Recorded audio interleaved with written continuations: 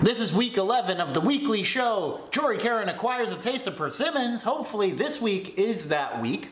I doubt it, but what I learned last week with the hot sauce, which was a bad idea, is sometimes you need a chaser. In that case, the only the only chaser I really had at home that for hot things was half and half. It didn't go well. Uh, persimmon plus hot sauce plus half and half cooled the burn. Did not get rid of the persimmon. So I decided to switch it up. I'm going with some iced tea. I'm going with some beer. I, I have a good I have a good feeling about the beer. I'm going with Diet Coke, the world's most consumed beverage. You would think Coke, but diet's everyone. And coffee.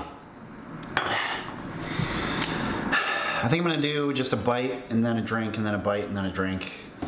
We'll see.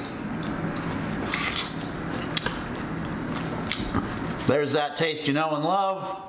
Try iced tea.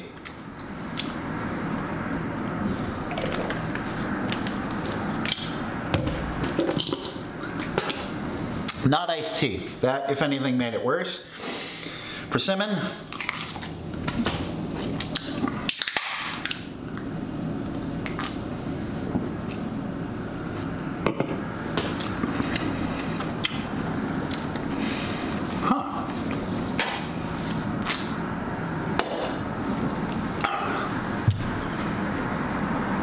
That made it way more palatable. Well, let's make this family friendly and go with the Diet Coke, even though, yeah.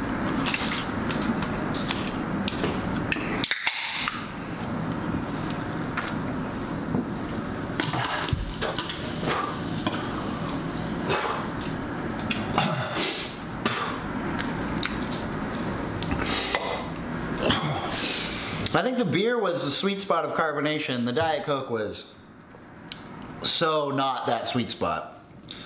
And last but not least, coffee.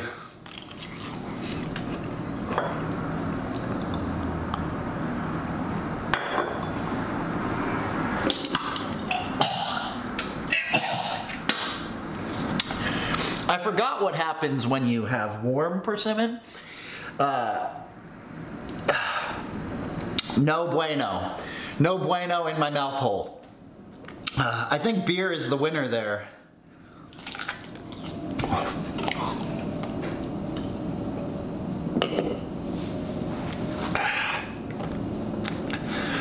It's the, okay, if I'm gonna rank them, beer is the best, followed by,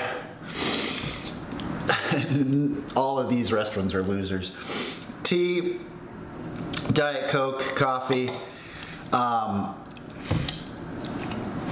I actually tricked myself into thinking beer made it better, and it was just not the worst. On a mission to acquire a taste for.